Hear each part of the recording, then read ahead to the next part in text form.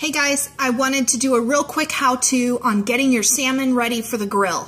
We're going to be eating a lot of fish, especially salmon, during this detox. In fact, I really recommend as much as possible you stick with salmon because it's such a um, nutrient-laden fish and one of the cleaner choices. Obviously, you're going to go for wild caught.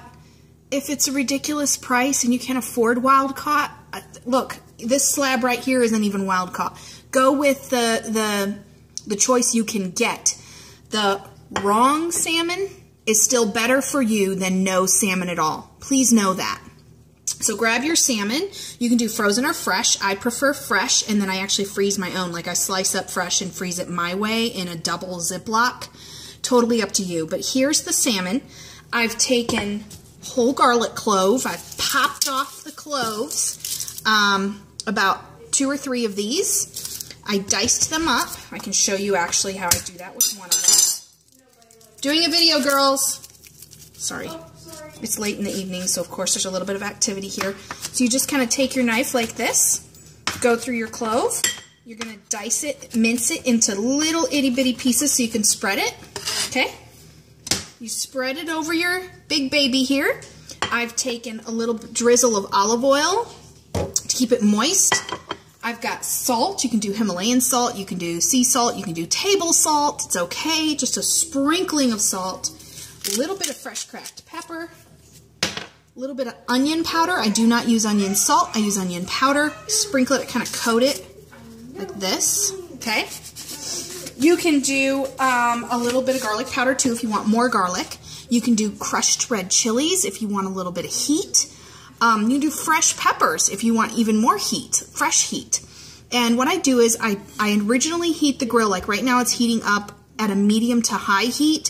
When I go to put the fish on, I actually turn the heat down to medium to low. So in between low and medium, because with salmon, you really want to cook it low and slow. It takes about 10, 12 to 15 minutes if it's a thin slice like this.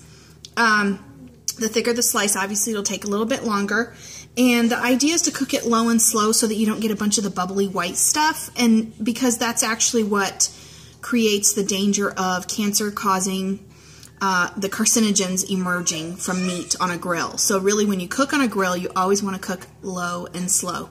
So hopefully this is just going to give you a couple tips for getting that salmon ready. I always do um, at least this amount for each person. And then you're going to have two or three days worth of lean um, awesome protein to be using in a dip, using in a pasta dish. Well, during our detox, won't be pasta, it'll be quinoa or brown rice. Um, use it with a salad. Spinach salad with salmon is so good. Use it in a wrap. I mean, the, the possibilities for using the salmon are endless. Make the salmon patties, salmon quinoa patties that I have in your packet there.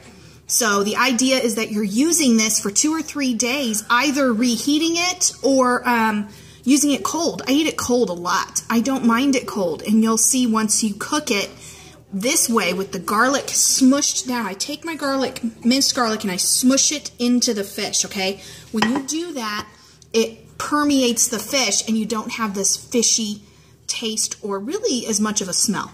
So see if this helps you, okay, guys? Get that salmon going. You're going to want to be eating that quite a bit during your detox. Um, I'm going to be bringing more tips, but this is to get your salmon ready on the grill.